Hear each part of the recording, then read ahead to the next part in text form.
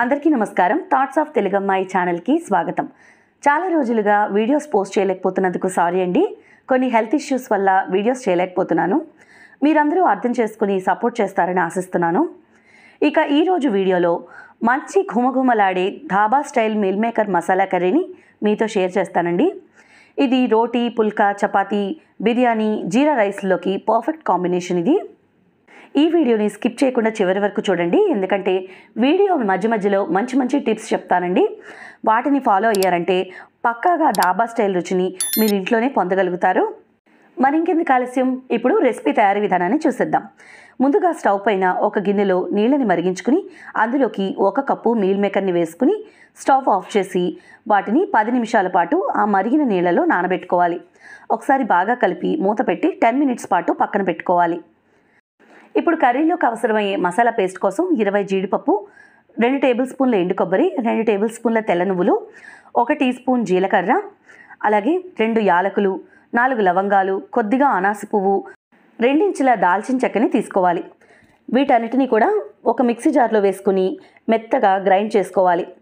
ముందుగా నీళ్ళని పోయకుండా గ్రైండ్ చేసుకుని ఆ తర్వాత కొద్ది కొద్దిగా నీళ్ళని పోసుకుని మెత్తని పేస్ట్ లాగా తయారు చేసుకోవాలి. ఈ పేస్ట్లో ఎక్కడ పలుకు అనేది ఉండకూడదండి. చాలా స్మూత్గా కాటుకలాగా రుబ్బుకోవాలి. అప్పుడే గ్రేవీ కన్సిస్టెన్సీ అనేది పర్ఫెక్ట్గా వస్తుంది. ఇప్పుడు ఒక కడాయిలో మూడు టేబుల్ స్పూన్ల నూడి వేడి చేసుకుని అందులో నానబెట్టుకున్న మీల్ మేకర్ని వేసుకుని వేయించుకోవాలి. ఈ మీల్ మేకర్ని నీటినన్నిటినీ తీసేసి ఒకసారి పిండుకుని ఇలా డ్రైగా చేసుకున్న తర్వాత ఇలా మూకుట్లో వేసి ఒకటి రెండు నిమిషాల పాటు బాగా వేయించుకోవాలి. ఇలా వేయించుకోవడం వల్ల మీల్ మేకర్లో ఉండే పచ్చివాసన అనేది పోతుందండి. కర్రీ అనేది చాలా టేస్టీగా వస్తుంది. ఆ తర్వాత ఇదే కడాయిలో నాలుగు టేబుల్ స్పూన్ల నూనెని వేడి చేసుకోవాలి. ఇందులో ఒక పెద్ద సైజు ఉల్లిపాయని ఇలా సన్నగా తరిగి వేసుకోవాలి. ఇప్పుడు ఉల్లిపాయ మెత్తబడేంత వరకు ఒకటి రెండు నిమిషాల పాటు బాగా వేయించుకోవాలి. ఇప్పుడు ఇందులోకి రెండు సన్నగా తరిగిన పచ్చిమిరపకాయలని వేసుకోవాలి. పచ్చిమిరపకాయలని మీ కారానికి తగినట్లు ఎక్కువ తక్కువ కూడా వేసుకోవచ్చండి. అలాగే ఒక టేబుల్ స్పూన్ అల్లం వెల్లుల్లి పేస్ట్ని వేసుకోవాలి. కొద్దిగా కరివేపాకును కూడా వేసుకుని వీటన్నిటిని ఒకసారి పచ్చివాసన పోయేంత వరకు ఫ్రై చేసుకోవాలి. అల్లం వెల్లుల్లి పచ్చివాసన పోయిన తర్వాత ఇందులోకి రెండు మీడియం సైజ్ టొమాటోల్ని ఇలా చిన్న చిన్న ముక్కలుగా తరిగి వేసుకోవాలి. టమాటో ముక్కలు త్వరగా మెత్తబడడం కోసం ఇందులో ఒక టీ స్పూన్ ఉప్పు వేసుకుని కలుపుకోవాలి. వీటన్నిటిని ఒకసారి బాగా మిక్స్ చేసుకుని టమాటో ముక్కలు త్వరగా మెత్తబడడం కోసం ఐదు నిమిషాల పాటు మూత పెట్టి మగ్గించుకోవాలి.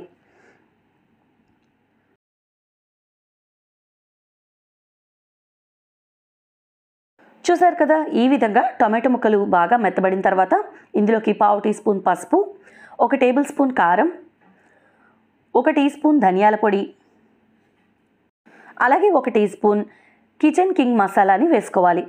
జనరల్గా గరం మసాలాని మనం ఇలాంటి గ్రేవీ కూరల్లో వాడుతుంటాం కదా దాని బదులుగా ఇలా కిచెన్ కింగ్ మసాలాని వాడితే కనుక ఈ ధాబా స్టైల్ కర్రీలకి చాలా మంచి ఫ్లేవర్ వస్తుందండి. ఈ కిచెన్ కింగ్ మసాలాలోనే కసూరి మేతి అలాగే ఇంకా విభిన్నమైన మసాలా దినుసులన్నీ వాళ్ళు యాడ్ చేసి ఉంచుతారు కాబట్టి మనం కసూరి మేతిని అలాగే గరం మసాలాని కూడా స్కిప్ చేసేయచ్చు.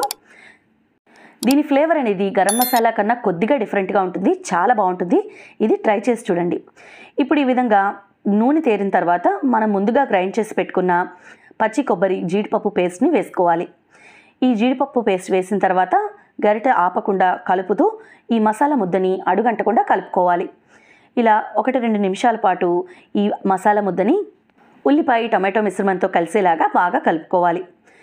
ఇప్పుడు మూత పెట్టి ఒక ఐదు నిమిషాల పాటు మధ్య మధ్యలో కలుపుతూ మగ్గించుకోవాలి.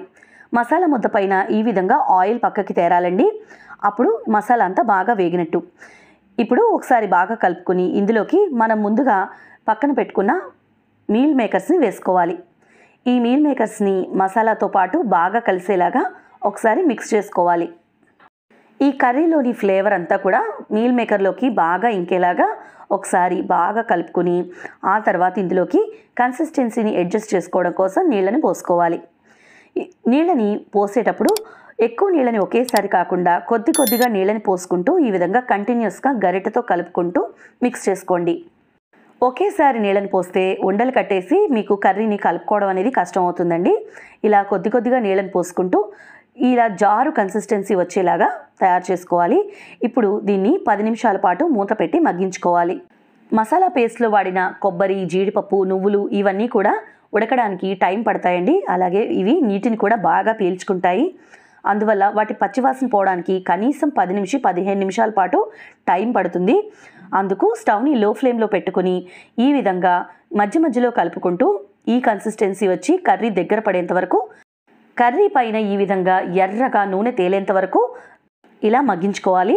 ఆ తర్వాత ఇందులోకి సన్నగా తరిగిన కొత్తిమీరని గుప్పెడు వేసుకుని ఒకసారి బాగా మిక్స్ చేసి స్టవ్ ఆఫ్ చేసుకుని వేడివేడిగా సర్వింగ్ బౌల్లోకి తీసి సర్వ్ చేసుకోవాలి. ఈ రెసిపీని తప్పకుండా ట్రై చేసి మీకు ఎలా కుదిరిందో నాకు కమెంట్స్లో తెలియచేయండి.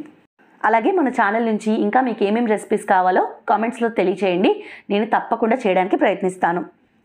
ఈ వీడియో కనుక మీకు నచ్చినట్లయితే ఇప్పుడే థాట్స్ ఆఫ్ తెలుగమ్మాయి ఛానల్ని సబ్స్క్రైబ్ చేసుకోండి.